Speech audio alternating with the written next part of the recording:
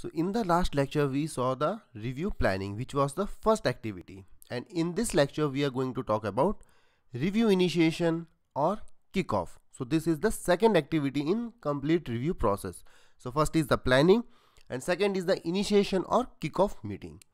So when we talk about kickoff meeting, so there are different people who are involved in it like facilitator, review leader, scribe, author and reviewers.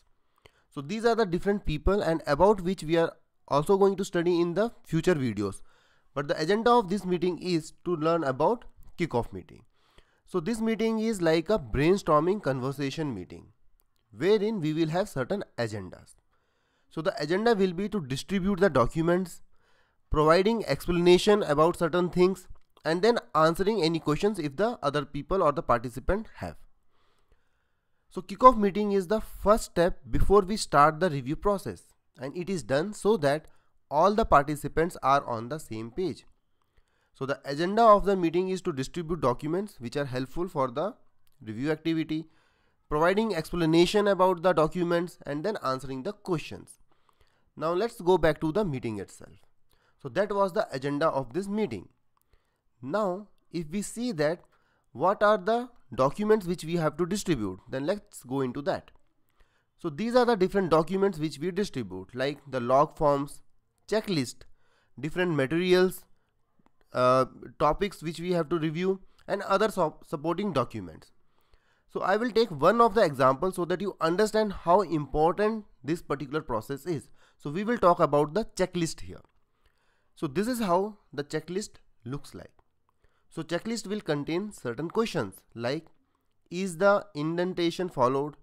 Is variable starting with test where means whatever variable you are using in your test case has to start with test where which tells this is a test variable.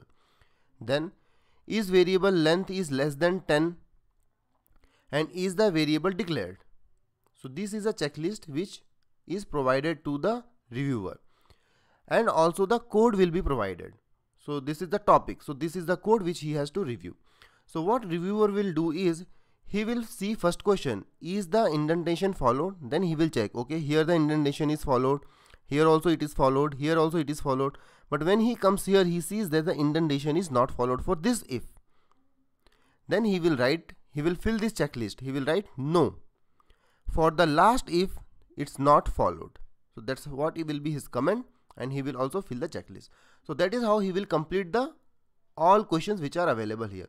Is the string starting with test where? So he will see this is a variable, this is a variable, but they are not starting with this particular statement test where. So he will write no. No variable is named as per the guideline. So as per the guideline, we should have provided this variable, but it is not provided. Is the variable length less than 10? So he sees all the variable and then yeah, all the variable are having length less than 10. So answer is yes. Then last one is, is the variable declared? Then he will come and check here. No, the variable is not declared. So his answer is no here. So that is how the checklist will be helpful to the reviewer in order to complete his review process effectively. All the questions are there. He just have to find the answer for those questions. So this is all about the documents which we are which we provide to the reviewer and the other participants also. So now let's go back to the meeting again. So the other agenda is to see that all the things are clear. So we will provide the explanation. So in this meeting, the explanation will be provided regarding the scope of the meeting or the scope of the review. How much they have to review, what all things they have to review. Then what is the objective of this review? So all these things will be explained to the participants. Second is the review process. So what activities will be followed, who will do which activity, all those things will be taken care here. Third point is roles of the participant. So there will be different people and each of them will have certain role. So those roles will be explained to them and obviously about the work product. So what is that they are going to review and what all things are there and what is the priority and all those things will be discussed during the explanation. So that is why the kickoff meeting is very very important.